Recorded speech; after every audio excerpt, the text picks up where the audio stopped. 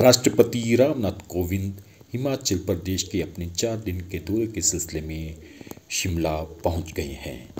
शिमला में अन्ना tell helipad पर राज्यपाल राजेंद्र विश्वनाथ आर्लेकर और मुख्यमंत्री जयराम ठाकुर के अलावा दूसरे गणमान्य व्यक्तियों ने उनका स्वागत किया, उनकी अगवानी की। इसके बाद राष्ट्रपति चौड़ा मैदान स्थित सेसिल होटल चले गए। यहाँ वे चार दिन तक रुकेंगे।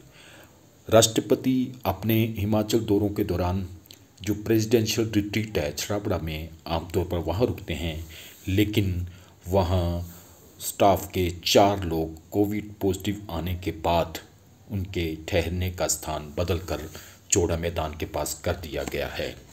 इस कारण कैनेडी चौक से लेके बालूगंज वाली रोड चौड़ा मैदान से होते हुए जो जाती है, और आसपास का कई मार्ग आम जनता के लिए, चार दिन के लिए रोक दिए गए हैं। उन मार्गों से उनका आना जाना रोक दिया गया है सुरक्षा कारणों के चलते। इसी बीच, राष्ट्रपति अपने चार दिन के दौरे में शुक्रवार को सुबह 11 से 12 बजे तक हिमाचल प्रदेश विधानसभा स्पेशल सेशन को संबोधित करेंगे। विधानसभा के इस स्पेशल सेशन में पूर्व मुख्यमंत्री शांता कुमार और प्रेम कुमार धूमल समेत तिरानवे पूर्व विधायकों को भी शामिल होने का न्योता दिया गया है।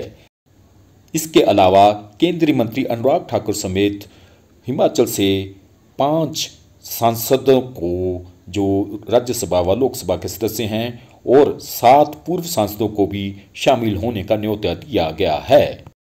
यह स्पेशल सेशन हिमाचल के राजत्व के 50 साल पूरे होने पर गोल्डन जुबली के उपलक्ष्य में करवाया जा रहा है।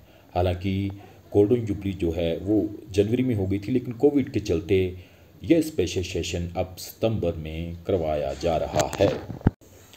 इसके बाद उसी दिन शाम को राज्यपाल ने उनके सम्मान में रात को आठ बजे बैंक्वेट का आयोजन किया है। और उससे पहले साढ़े सात बजे वहाँ एक सांस्कृतिक कार्यक्रम भी किया जाएगा।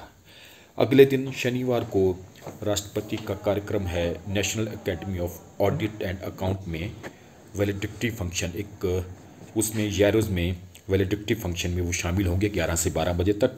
के बाद रविवार को वो सवा ग्यारह बजे अन्ना डेल हेलीपैड पहुँचेंगे और चंडीगढ़ से होते हुए उनका एक बजकर पैंतीस मिनट पे राष्ट्रपति भवन पहुँचने का, जो शेड्यूल के मुताबिक कार्यक्रम है। तो राष्ट्रपति के ये दौरे को लेकर कड़ी सुरक्षा जो है, इस समय शिमला में कर दी गई है।